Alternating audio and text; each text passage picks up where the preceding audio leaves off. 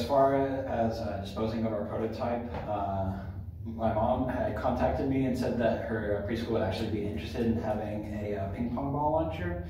So we're probably going to end up donating our ping pong ball, our ping pong ball launcher to uh, her preschool so they can, you know, can have it as a toy.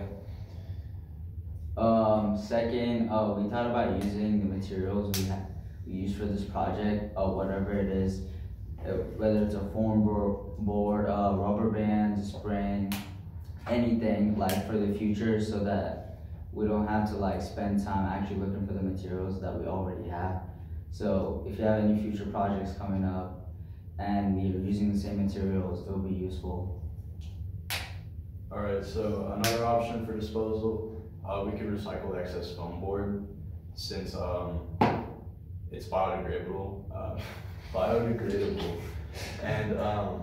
yeah, we really don't have like a need for it either. So it'd be good just to like cut down on excess waste. Um, then we're gonna save the tools for future projects, and uh, we didn't have anything hazardous that we were building with, so we don't have to have any special consideration for that. We just throw it the rest away.